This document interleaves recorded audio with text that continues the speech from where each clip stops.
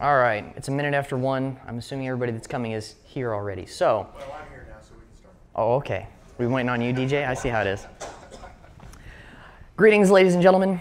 My name is Alexander Pierson. Most people call me Z or Commodore Z. Um, if you're here for the cactus, you are in the right place. Um, so, uh, that's me. That's how to reach me. It's my website. You can find information about my projects and primarily my big one here, which we're going to be spending a bit. I don't know, 25 minutes on, and then questions, and you guys can interrupt me at any point if you're like, hey, wait a minute, or if you got a question, you know, stop me. I, I want to I wanna hear it. I, I, I want to discuss this with you. Um, so I'm going to be talking about my Homebrew 6502 computer here in three parts. Give you some historical context. That's the part I assume plenty of you will uh, already have some bits and pieces of, if not a pretty good picture of what's going on. Um, and if you have something contradicting in your head, feel free to let me know because I'm trying to improve my how, how I'm sharing this history. Uh, after that, the design and build process, and then uh, normally I'd do a front panel demo, but it's been in there. You guys get a chance to you know do one-on-one stuff, so I'm, I've kind of reduced that part, but I'm still going to explain a lot of the features and functionality at that point. So, I want you all to step it back in time with me to the 1970s. Uh, I don't know if you can tell, I, I, don't know what the 70s were like. I'm, I'm a little young for that. Uh, how, many, how many of you uh, are familiar with the 6502 processor in some way, shape, or form? Awesome. It's fantastic. You're in the right place. Uh, now, how many of you have seen one with a front panel, not counting the cactus? Okay. That's, uh, that's more than the last time I, I gave this talk. It would, only in pictures. Awesome. Uh, any, any in person? All right, yeah. It wasn't working. It wasn't working. Okay. So, um, for the rest of you that don't remember the 1970s, me neither, um, what's important? Microprocessors. They're a new thing. They're making everybody's lives easier. 1972, we got that 8008.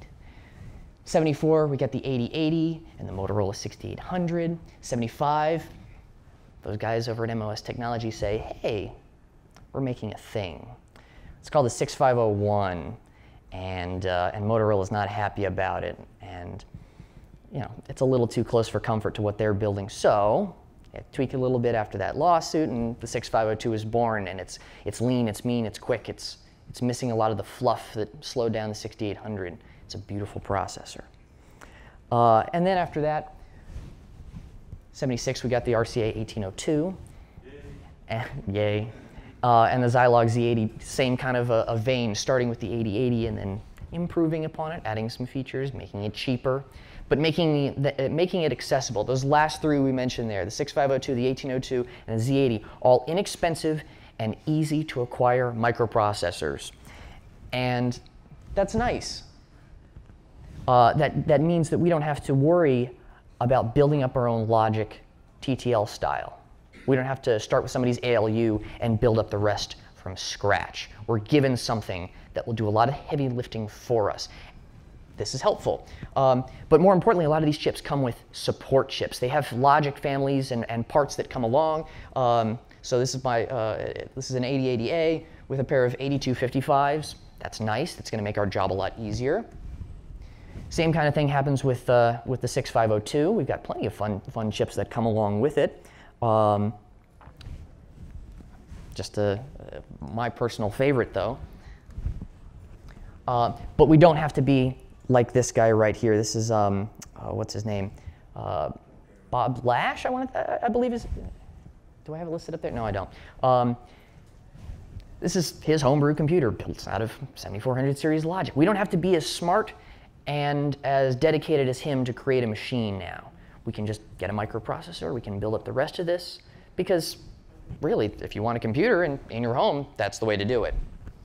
Um, now, if we're looking at a couple other approaches to homebrew, uh, but also kit computers and just front panel interfaces really quick here. Kenbak-1 in, uh, in 72. It's got push buttons. It's, uh, it, it, you know, it's still all 7400 series logic, but it's relatively small, it's cheap, it's, it's not too crazy. Obviously, you didn't see super wide re um, uh, release. There's only, what, less than 100 that are in circulation total, and we've got only a few dozen that we can count on right now, if memory serves. Then we got this guy, the Mark 8. Look at that. Um, this came out the uh, same year as the Scelbi in uh, 1974. Uh, this one in particular, uh, July uh, issue of Radio Electronics. As far as I'm aware, no Mark 8s look the same because everybody's get their boards, they populate them, they build up the rest of the interface as they need to. So they, none of them match. They're still very um, uh, user intensive to create something that's functional and helpful. And then we get to the big guy in 75, the Altair 8800. Everybody loves this one. Kit, you know, you show up, you got tiny little amount of RAM, 256 uh, bytes, is the, that's the default, right? I'm not an Altair guy, but it's got a nice front panel interface. It's big. No push buttons, but it's a massive interface. We've got a lot of lights. We can see what's going on in our address space, our data space. Um, and then we got the other approach here in 75, Southwest Technical Products with their 6800. Hey, wait a minute, where's that front panel? means we're relying on something else to talk to it, like a terminal. Then we got the, 60, uh, the 680, Altair's answer to Southwest, Southwest Technical Products uh, device. And, and here's the thing. Sure, it's using the same Motorola 6, uh, 6800, but it's kind of bare bones compared to the 8800. Where, where's the, where are all the other switches? You're doing front panel DMA, but um, well, you, you, can't do any complex examines or examine next. So, you know, you, you're, you're very limited. There's no sense switches for software-defined input. Okay. A lot of people don't like the, the way this is designed. They say it's, it's very bare bones, it's kind of rushed, it's, it's missing a lot of features that they want, and um, it's got some interesting technical flaws. Uh, recommend talking to Systems Glitch if you're curious, because he's into that right now. Then our 1802 fans, we've got that ELF. Look at that. You, you, uh, you had your, uh, your copy of uh, August Popular Electronics from 1976. You can build a cheap machine. Was it $99 was, was the threshold to make one of these things? $80? Ooh, all right. Point is, it's got a very simple front panel DMA interface. It's, you know, it's a tiny amount of switches, but you're still able to do a lot. And somebody can just build this, and that's awesome. It's you, the processor, not too much else. And then a couple of Steves from uh, California come up with this thing. Hey, look, we're finally seeing the 6502, but uh, man, this thing's expensive, $666. Are, you serious? Okay. But uh, again, no front panel. Where is it? Where's, where's the, the interaction? Well, we're relying on something more complicated to talk to this machine and enter in programs and whatnot. Uh, and then going into just other front panels, um, just because I like looking at these. Um, just the, the functions, the features that are all kind of common on them. You know, everybody loves the PDP-8, especially the E, just because relatively easy to get compared to the other ones, but it's got a pretty clear setup of, of how you're doing your front panel DMA. Your, your switches, address, uh, being able to start and uh, step and all that good stuff. It's, it, it's very full featured. Then the bigger brother, we're getting to Unix territory now. PDP 1170, Again, same kind of, a, of an approach, but way more switches. Okay, this is pretty cool. I want to see what this is all about. And, uh, and there's a bugging question that's getting to, my, uh, to me, but we'll get to that in a second. And then you see what uh, HP was doing. HP 1000, it's got push buttons, and that's interesting. Um, and then down at the bottom, you switch between what register or what value you're looking at, and so that you can reuse that same set of LEDs and switches over and over again. That's efficient. That's pretty cool. Um, and then this is one of my favorites, just because of how influential it is. Data General's Nova. Um, this right here, two major forks. Number one, you see it influ influence the, the way that the layout and the, the user experience is for the Altair 8800, but at the same time, it shows uh, Steve Wozniak, hey, we can do less with more, because this is, to my knowledge, a, a relatively uh, close uh, design in terms of what it can do to a, to a PDP-8, but it's doing it in less chips by optimizing based on what 7400 series logic is available, right? It's, it's, it's making more out of less. Good lessons, but also a really cool layout. I love this. Then we get to the mother of all front panels, just because I like to list this one. Um, this is from uh, an IBM System 360 Model 91, I want to say. 91 sounds about right. I don't think I've seen one bigger so far, but man, you want to do some serious front panel DMA, you, you can do it here, but apparently you, you don't want to. Apparently it's just for debugging purposes, and most folks didn't even bother with that. Still, front panel, that's pretty cool. We've got a way to view our contents in memory with all of these previous examples. We have a way to modify those contents in memory. We can start and stop processing, and these are all what we need from front panel DMA. But then we have some extras that we might want, like software addressable I/O, if we want to play kill the bit for the Altair and IMSAI fans out there. Uh, we got hopefully have a way to single step the clock or the instruction, you know, one or the other. Um, they're not the same. I learned that the hard way. Um, sometimes we can protect memory, but if you're really lucky and you can afford something more more uh, powerful than that for the homebrew side of homebrew kit side of things, you can get yourself an ASR 33. You've got a teletype. Now you've got stuff in human readable text. All right. Paper tape. You've got storage too. That's nice. And if you're really extra, you've got the money to pay for a full glass terminal. You can see what's going on in real time. You don't have to wait for the printer to go and but you got to have some money. Keep in mind, we're still in the mid 70s here. Um, and yes, these did get cheaper as time goes on, but if you're doing something homebrew from the ground up, this would have been kind of out of your price range. And then 77 hits, and the world changes. Those guys from Cupertino and uh, what was it? The other part of? I don't know. What's the name of the city that the, the Apple boys are from? Point is, they come out with a revised version of the Apple, the Apple II. It's pretty nice. It does a lot of stuff. It's got video output. It's all self-contained. It Even does color if you know what you're doing. Commodore, they're finally on the scene with their PET 2001. It's got a chiclet keyboard, which is interesting, but does graphics, sorta. It's PETSCII, it's graphics. It's got tape built in, it's got a monitor built in, all right. Then if you're, like most folks, uh, up until about 1980, you sprung for the TRS-80 Model 1 because this was the least expensive option out of all of them. You got a Z80 in here, you get a separate little monitor, and as you go, you can expand, and but you've got yourself a computer, and that's pretty awesome. And what ties these all together? They're appliances. We don't have to be home brewers anymore. We don't have to spend our time making something up from scratch.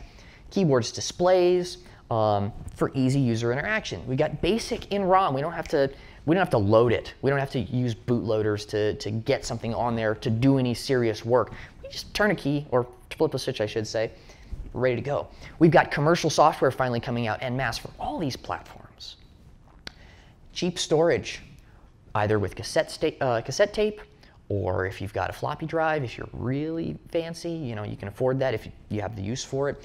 Uh, memory's cheaper here. That's why we can fit so much in here. We've got uh, options of 4K, 8K, um, and some of them go up to, to 48K, uh, I believe, on the Apple II. I'm, I'm not an Apple guy. Um, but they're all under two grand, and that's nice. Accessibility is through the roof. Just about anybody can get this. And this means that the front panel is dead. Um, nobody wants to do deal with that anymore. We don't have to. And uh, as I'm going through this, I thought to myself, okay, somebody out there, how, how come there's no front panels with the 6502? We've seen this with the other processors, the Z80, the 8080, the 8008, the 1802. Something's not right here. I mean, even the 6800 had one. What's going on? Somebody says to me, that's because the 6502 was late enough that folks used the serial link to a terminal. The Apple I had that built in. Quite the step forward from a front panel with switches and lights. Or folks used the 6502 with the 6530 with the TIM monitor and ROM to a serial terminal. I'm going to call BS here. Came out in 70, uh, the 75. Somebody in an era before you, you could have easily acquired uh, a terminal or, or a teletype for cheap had to have thought to themselves, no, no, let's use a front panel. Let's, it's, it's a cheap processor, it's a cheap interface compared to its competitors prior to 77. There's got to be a reason for this. What is it? I don't know. Uh, so what were people doing with the 6502 instead? Well, we got Synertek's answer here with the SYM-1. Uh, it's got a hexadecimal keypad, hexadecimal output display. It's actually pretty fully featured. You can do a lot with this. Um, it's got a little bit of ROM, it's got a lot of I.O., expandability, it's, it's capable. Hey, That's a front panel. That's a 6502. This is the OSI 300. Ohio Scientific said, let's make a little tiny cheap $99 trainer. You, with 128 bytes of, of RAM, some switches, LEDs, that's it, you're set. You can do some data entry and you can learn the instruction set for the 6502. Nothing too complicated. You're not, uh, you're not capable of doing any serious I.O. You get like one little TTL latched output on a high address that isn't touched by RAM. That's it. That's all you get. No expandability. And you've got to load in your programs every single time. There's no, there's no permanent storage for this. That's frustrating. Meanwhile, Commodore, or rather MOS, and then later Commodore, has their, uh, their KIM-1. Uh, again, hexadecimal keypad, display, expandability, a little simpler than that SYM-1, but still plenty powerful. And this is what most people think of when they think of a minimalist 6502 machine. This is what comes to mind for a lot of folks. Now, what is this? If you had yourself a SYM-1, you could get yourself this rare little uh, add-on by CGRS Microtech. It bolts onto your SYM-1 and it gives you a software-defined front panel. It's, it's running software to operate this correctly. It's, it's, it's a separate device. It doesn't let you do true DMA into, into what's on board, but it's a good start, you know. Okay, I only learned about this, by the way, within the last uh, three or four months. So this wasn't on my radar um, when starting this project, but we'll get to that in a second. Then there's this weird thing. I only found out about this within the last uh, three months as well. November 1977, an issue of Byte magazine, somebody comes up with this homebrew design known as the Computar, spelled with a K and two U's.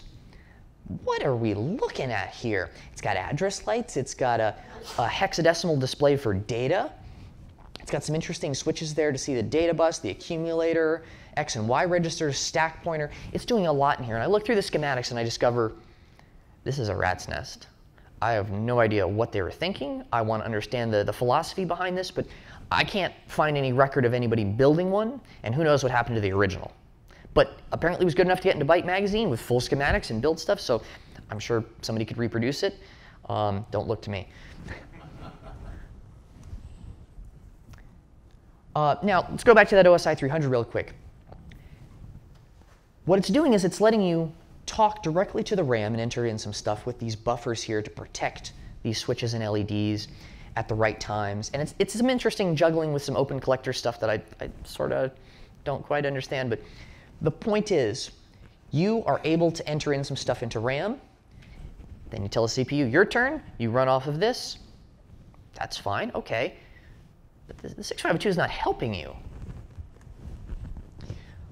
So in my travels, I come across this. Grant Searle has a, a couple of machines, to, uh, these minimal footprint uh, computers based off of the Z80, 6809, and the 6502, doing it in a, just a handful of chips using a serial interface. And the first time I'm looking at this and I go, the chip interactions make sense. What's going on in the bus, the memory layout clicks for me finally. Okay, I wonder, hmm, by the way, I totally recommend looking that up. It's, it's a lot of fun. I built one of these things. Um, you can run BASIC on it. You've got OSI BASIC in, in, uh, in a ROM. You're talking over, over a serial link. But that's not too many chips. That's a lot of fun. OK, I, I wonder. Um, that, that's it running BASIC, by the way, on my uh, H89 acting as an H19 just because I don't have any other terminals. Point is, using BASIC. You're using 6502 pretty powerfully. You've got a lot of, a lot of at your fingertips there. So I decided, you know what? I want to combine some of these concepts. I'll make my own machine. And so I start looking around and finding some parts. And next thing I know, I've, I've got a, a crude bus. And people ask me, why is it 35 pins wide? It's because I found a board that had 35 bus strips on it. I said, I bet you I could fit a 6502 bus on there. Turns out, yes. Uh, and no, as in I already filled it up, and now we're at 40. And there's still only 35 pins on there, so there's jumper wires. And I start building, instructing, and I think to myself, I want to experience this the way that folks did in the 1970s. I want to build this using era-appropriate techniques. Wire wrap sockets are a little tough to find for me, so I thought, you know what? I like soldering. Soldering's fun. I'll just do point-to-point -point wiring, solder everything down. That's more durable, and if I'm um, pulling things in and out, I'm not going to jostle a wire loose or anything like that. Plus, you can pack the boards tighter. Um, but perf board, no, no pre-etched boards or anything like that. Just testing and building and modifying as I go. And before I actually got to any serious circuitry, I thought to myself, I think I know what my front panel should look like. I have an idea of what this all this layout should, should be. Um, data switches and address switches. I want to be able to hop to every single address because um, looking at the 1802, you can't hop to specific addresses. I, I want to be able to do that. That looks like fun. Um, and I, I, I, scored these momentary switches. I thought those would be fun little little data switches, but uh, how am I going to make that work? That'll, that, we'll go to that in a minute. Um, but the ability to, to reset and run and hopefully maybe even step, but we'll cross that bridge in a minute. Um, protect RAM, examine, deposit, examine next, deposit next, you know, some complex operations there. I want to see what that's all about. Oh, and a turnkey. Turnkey is very important. Um, it's not necessary, but it's fun. And I'm looking at the, the 6502, and I'm realizing, man, I've seen a lot of other processors that have like a way to, to bus enable to turn stuff off. And oh man, I'm going to have to use a lot of tri-state buffers to, to make the CPU sit quiet because it's not going to help me do DMA. An 1802 will help you do DMA. It's going to help you step through. Um, correct me if I'm wrong on that, but it's, it's automatically doing your, in, your incrementing for you and your, your latching so you can push stuff into memory. It, it's assisting you. This doesn't have any such features. Nobody thought to. They took that stuff out. That was kind of intentional. They want it as lean and mean and fast as possible, no fluff. Um, now, I, don't have a, a, super strong understanding of the way an 8800 or, uh, or an IMSAI um, will do it, but it, it's basically just pushing the CPU off in, in, the corner, kind of, and it's a relatively minimal front panel uh, otherwise. Um, the, the circuitry is not super complicated after that. I've talk to somebody who knows that type of system better than I do. But then I've come across this guy here. Western Design Center's CMOS version of the 6502. It's got a static core. People are telling me, listen, you, you can't do uh, single stepping with the 6502. You can't halt and resume because it's going to lose its contents of memory. It's got a, you know that DRAM inside for its registers. It's going to forget what it's doing partway through. You need a way to, to keep it refreshed on that. Well, the static core solves that problem.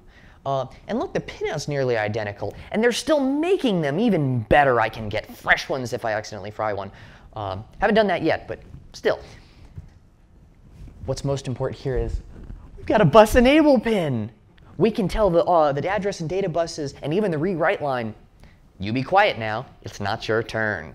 With one pin, we don't need all this extra logic. That's great. And so I start working on actually wiring up the front panel, and the next thing I know, I've got um, 72 individual lines running on ribbon cables. This stuff smells terrible It came on this massive spool. And while I don't, uh, while I wasn't around for the 70s, I, I assume this is what would, uh, the 70s smelled like. It's this kind of phenolithic um, plastic funk that um, it smells like it died in the back of an overheating van. It, it's nasty. So I had to keep it outside for like six months to outgas. Um, but it gets the job done and doesn't smell like that anymore. And I'm wiring and I'm wiring and realizing I should probably still start building interface cards for this. Um, one thing as I'm building, I realized I don't want to use a piece of kit that's more powerful than the 6502. I see a lot of folks when they, they homebrew a machine, they say to themselves, well, we'll just take the 6502 and we'll bolt it to a PIC or an Atmel or some other high power modern microcontroller that can do a lot of the heavy lifting for me so I don't have to do glue logic, I don't have to do a lot of extra storage. I'm sorry, I, I feel like that's cheating if I'm trying to experience the 70s. I, I don't need that. So we're going to do it all from scratch. No Homestar Runner fans? Okay, cool. Um, but I'm also cheating in one other aspect. There, there are some things I think are kosher, and that is I don't want to do a ton of RAM. It's the 70s, you're doing DRAM, lots and lots and lots of boards of DRAM. You look inside of most Altair 8800s, it's like what, 60% RAM? sometimes a little more. It's, it's a lot of boards just for DRAM. It's not very dense. Or you can go static RAM, but again, at the time, it would have been super uh, uh, tightly packed. Okay, fine. I'll, I'll cheat on that because I just don't want to do tons and tons of the same tedious thing over and over again. I say that as I, you know, talking about a front panel machine, but. Um, and so I start getting into the actual logic of how things are going. I want to be able to move through my address space cleanly. I want to be able to not just set an address and visit it, I want to be able to count through it. So I create the address card here, a bunch of, um, uh, what are these, 74, 193 counters, so I can cascade their, their counting, I can count up and down, but I can preload. I can set the switches and go to something and see what's going on. Um, and then when it came to the data stuff, entering in data bits, I was like, you know, I've got these momentary switches. I want like a flip-flop. I want to be able to set a bit or clear a bit. That sounds like a lot of fun. Um, and I wasn't sure if something was like that was possible or had been done before, but it was like that, that seems that seems like a good way to go. And I'm starting to test and whatnot. Um, and then last year I'm here. And Mike Lone has his HP 1000 and he's sitting people down and say, here, try toggling in some stuff. And I'm sitting there like, wait a minute, there are no latching switches? They're, they don't lock? They're push buttons. This has been done before? Okay, my idea is not so crazy.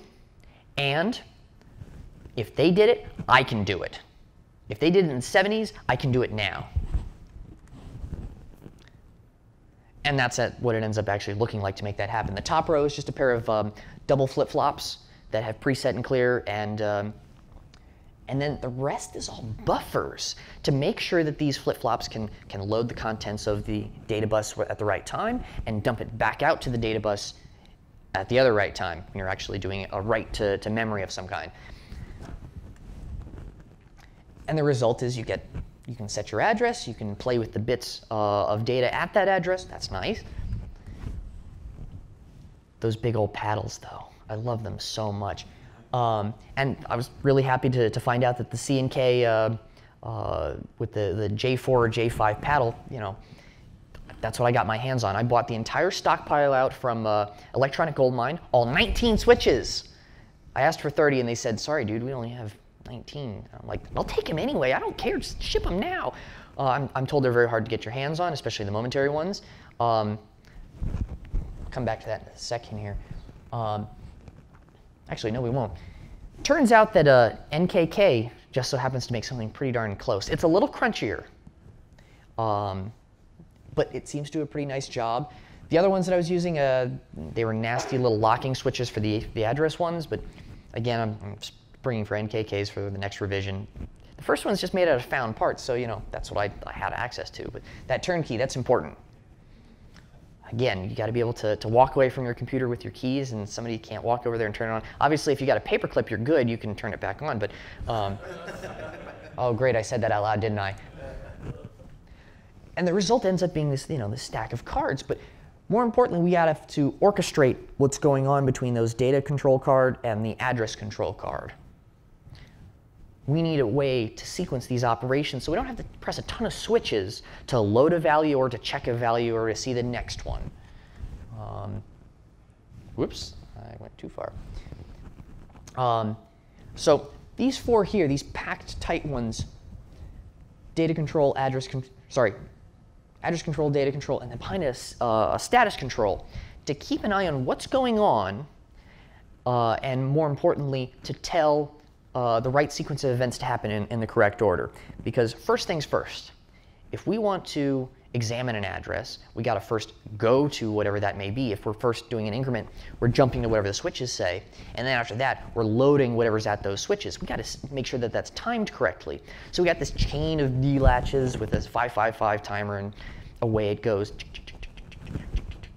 It's it's actually pretty um, human time scale and how fast it goes through it, so you can watch it step through when it's it's being a little finicky.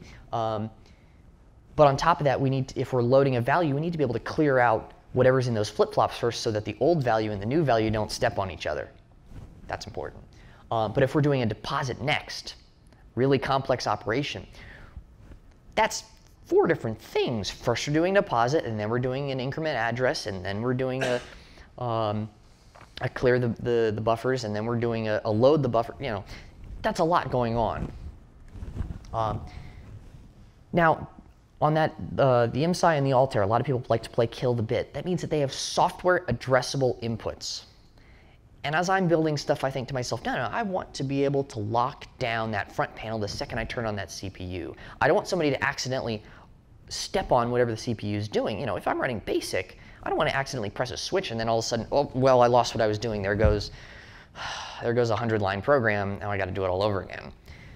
So I put in all these lockouts to prevent you from, from touching anything. And then the 6522 VIA shows up, and I think to myself, you know, I bet you I could wire that up to my data switches when I'm running and read and see what's going on in software. I can check what values those, those see. That's nice. And I can do out, output on some LEDs too, software addressable.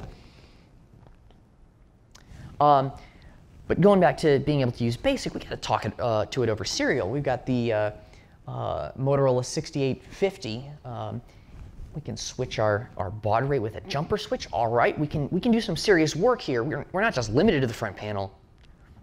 We can do higher level language, and that's nice. But I don't want to switch my baud rate by hand. This is a pain. And then somebody shows me the 6551 and says, oh, you know, you set that in software. I'm like, really? Just, I can change my baud rate on the fly? You certainly can. In fact, it's not nearly as dense in terms of support circuitry. We can fit two of them on there. All right, we got serious serial interaction. All right, I've been ignoring the single step problem until now. So this right here is from a uh, design uh, by MOS Technology. They, this is their suggestion for how to do single stepping and sing, or single cycle and single instruction. That is a nightmare. That is a lot of gates. I can find no examples of somebody actually building one of these and using one with a 6502.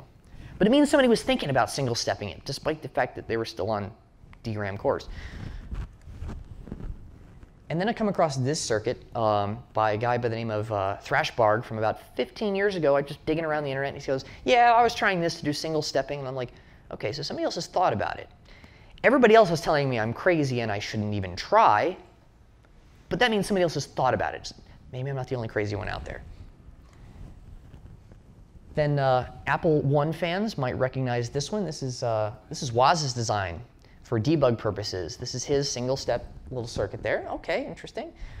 Single cycle as well. But again, he's probably going to have that same problem. I can't find any ex um, examples of that previous one existing either. And I look at it and I go to, um, you know, I, I talked to Thrashbarg about it and he goes, yeah, my original circuit's terrible. Here, try this. And he just scribbles something out and sends it to me. Oh, okay. That looks pretty reasonable. I think I can give that a try. And I did some tests, and the next thing I know, uh, it doesn't work. Probably doing something wrong, but I said, you know what, let me just try it my way. Something really, really stupid simple. As in taking me the clock and saying, okay, I'm gonna just pulse the clock with a, with a key press. That'll be my clock. One or the other, we'll select, you know, back and forth. That'll be fine. But then we also have to tell, um, due to the interlocking, we've got, we've got this front panel, we've got this 6502, and they have to share that bus. But the 6502 is not going to help you with that DMA. That means we have to tell it to go sit quiet in the corner with that, that bus enable pin. That means that the front panel takes over. But the second we do that single step, we want to briefly relinquish uh, the, the bus control from, from the front panel and let the 6502 tell us what's going on super quick and talk to all its devices. And then we'll really, you know, go right back to the front panel. So you got to be able to switch back and forth there, and that took a little while.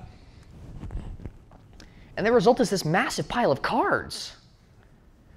Um, let's see, debug in the top right, then next to that status control, data control, address control.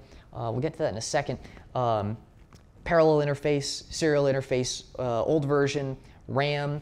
We got 32K of static RAM. That's nice. We don't have to deal with all that DRAM and, and uh, tons and tons of little SRAM chips. Things are nice. Um, and a lot of people are like, you know, it's the 70s. You should probably see what Core's all about. I'm like, yeah, you're right. If I'm exploring that era, well, Core's hard to get my hands on.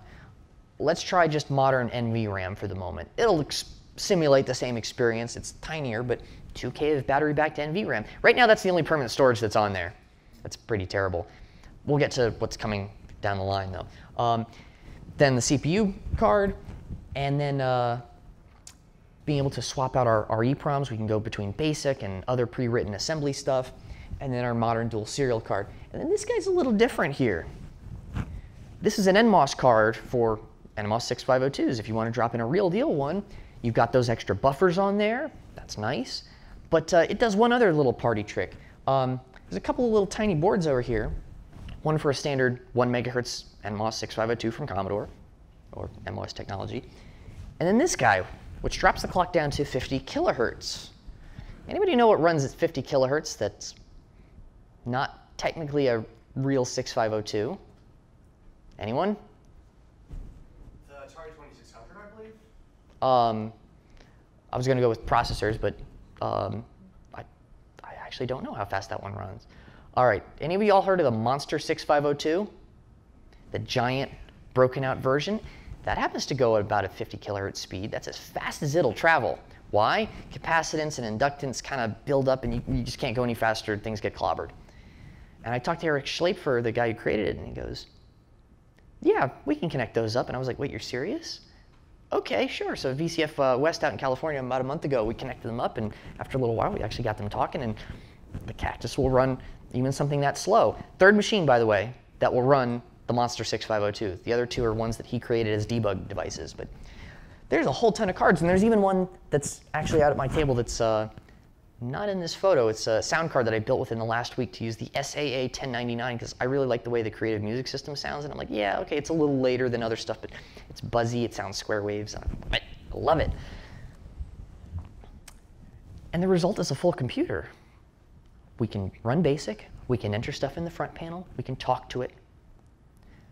And it's all because we can tell the 6502, you be quiet, it's my turn, but that means that like half the machine is just for front panel interaction. That's insane. That's a lot of machine. And that's even with optimizations. I mean, there's still more to do, but we're doing that in about 25 chips. And then you go look at the Altair 800 and actually, yeah, that front panel interface is about 25 chips. Okay, maybe I'm not doing so bad. Then you look at the 1802 guys and they're like, we barely have any chips to run our front panel. I'm like, mm. um, so Let's go back to those, those fun status control switches. We can reset our CPU. We can run and halt, let the CPU either take over or the front panel take over, depending on which one it is. Stepping the processor when uh, the CPU is halted, just to send it those individual clock pulses. Protect memory, and this, I swear every time I say I'll fix it, I never do. Um, then after that, the fun ones. Examine, examine next, deposit, deposit next. The idea is you can go through super fast and just entering tons and tons of data. All right, byte, deposit next, byte, deposit next, byte, deposit next. And it saves you a lot of time. Um, IMSAI and Altair guys, I'm told that this is backwards for you. I'm told it's actually a next deposit. Um, but there's no way, it, when it comes to entering in fresh bytes on those, you have to set all eight switches, right? it doesn't matter if you only have one bit out of place. You've got to set all eight of your switches to overwrite that new one. I mean, obviously, if it's right, you just you know examine next past it. But still, that's that's nice to be able to um, deposit some value and then see whatever came directly after it, so you can go, yeah, do I need to modify that? Sure, I, I can, if I have to. Um, oh yeah, that's the thing driving our, our sequencing here. Um, it's, a, it's a nightmare. It's all point-to-point wiring, so most of it's a rat's nest to follow. Um, surprised it runs sometimes. Oh, we already saw that one and that one. So a couple of takeaways here. Front panels are incredibly tedious, especially to build. But uh, you know, you get a lot of control. You can hop in and see individual bytes, and you don't have to rely on a program running sometimes to see what's going on. Obviously, if you have a CGRS Microtech and a SYM-1, that's gonna, you know, you're still running a program. But this, we don't need any of that. We can just turn on the machine and start playing with, with bytes and data and program. Um, wiring a front panel from the ground up is incredibly time consuming and um, I've been at this for uh, almost a year and a half. Serious build time has been about a year, but it, it takes, you know, takes some time. Blinking lights though, makes it all worth it. It really does. Being able to watch the 6502 as it's working and doing fetches and loads and observing what address it's at at any given time and what's going on, that's a lot of fun. Everybody else gets that, now the 6502 gets that. Um, but I've got a, a kind of a, a, little what if that I, have been thinking about the past couple of days. Um, so nobody did it back in the day, because it wasn't easy to do this, uh, this cheaply since you had to build so much extra circuitry to support a front panel for a 6502. But what if, what if somebody combined that same kind of a, a smaller footprint like what the elf guys did? I think there's something there potentially. You know, obviously a little more minimalist, more heavy user load work, but I don't know. This is just something I've been thinking about. Talk to me later if you're curious, because I think that's possible. I got to give some thanks to a lot of folks who have helped me along the way here. Um, either encouragement or technical help or historical info or just hey, tell me about your thing, and they act as a rubber duck as I figure out what's going on. Um, I want to say thank you to a lot of those folks. In fact, there's a couple of folks here right now. Hey, DJ, you're on that list. Um, but this, this, has been a, a, long time coming, filling in this this uh, this what if, you know, because I've been thinking about this since 2015 when I first saw that OSI 300, and it all clicked as, wait, this has been done before, but it hasn't been done before. Where's the missing link? Well, it's here now. Um, I realize this has gotten a little jumbled, uh, so I'm going to move on to questions and not take up too much more of your time. If any questions, any curiosities, anything you want to know more about, anything I need to clarify. When am I going to make a kit? I'm working on it. I swear. Uh, I've got like 25 people asking now, something like that. So okay. Crazy idea. Sure. Have you thought about having blinking lights for the internal processor status bits, like the negative flag, and carry flag, and all that, maybe triggered by RFQs? I, I have thought about that briefly, but I haven't, not enough to, to figure out a good way to do it because um, it is it is a useful thing to have, but I, I haven't honestly explored it all that much. It, would be fun, and I'd like to add more blinking lights on there. I mean, I've got a way to add another 16 just right to the front panel uh, right now, but uh, uh that first one, that, that you've seen the wood that it's made out of. That's kind of the first run. There's no labeling on the address um, lights to know which one is the least significant and most significant bit because I was still deciding on what numbering scheme I wanted to go with. Do I want to use letters for the higher stuff once we get above uh, 9 or not? And then uh, the place I was using a laser cutter at just closed down, and so I lost access to it. And I'm like, are you kidding me? Now I can't make Rev 2. I guess I got to work with what I got here. And I don't feel like putting stickers on there because that's just, I don't know, I don't think it would go well with the rest of the, the, the style. Um, yes, I would like to to add those, and I, we need to talk later about that because I think you have some ideas about it that are probably better than what I have. Any other questions? Any other comments? Curiosities? Cool. All right, so if you have them in the next, you know, couple hours here while we're still here, stop by, see the cactus, we'll talk about it. If you want to try it, play with it, run basic, front panel, whatever, be my guest. Um, if you want to tell me I'm doing a terrible job and, uh, you know, correct me on some of my slides here, feel free um, yeah, thank you for coming.